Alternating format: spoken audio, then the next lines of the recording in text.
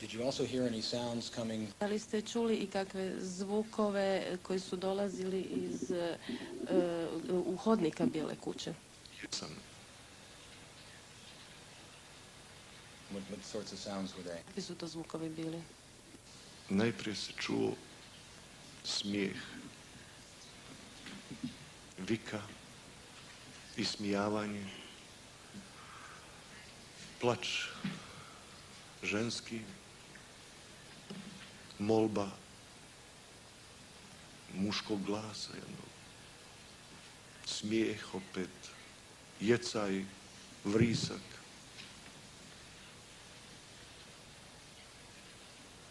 I onda je ušao jedan stražar i rekao tražim dvojicu jačih. Među njima se javio i Kerim Mešanović, koji je zajedno sa mnom uhapšen.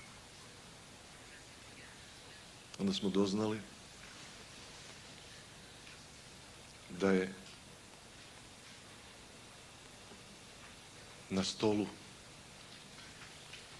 koji je u hodnik stavljen trebalo da bude silovana jedna mlada djevojka a da ju siluje Mehmed Alija Sarajlić inženjer musliman, ugledni građanin čovjek mojih godina skinuli su golu tu djevojku skinuli i njega, natjerali da se skine. Tukli ga, htjeli su da je siluje. On je molio, preklinjao, rekao mogla bi mi biti dijete.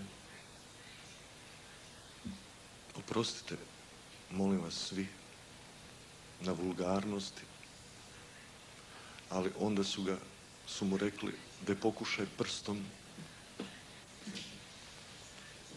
On je to uradio, nju je to zabolilo, vrištala je. On je onda odustao potpuno, tukli su ga, imao je slabo srce. I ujutru, kad smo po šestorica izvodeni u WC lijevo od bijele kuće, na jednu livadu, vidio sam leš Mehmed Alije Sarajlića.